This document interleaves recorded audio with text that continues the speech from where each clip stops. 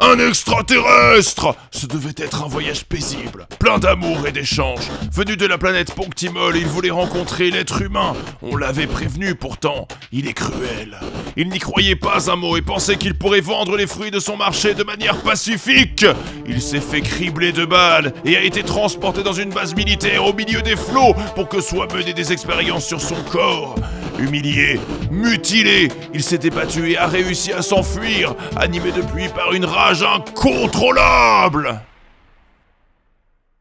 Basile Butor sourit, mais derrière ce masque se cache un ponctimolien meurtri, déçu par les humains.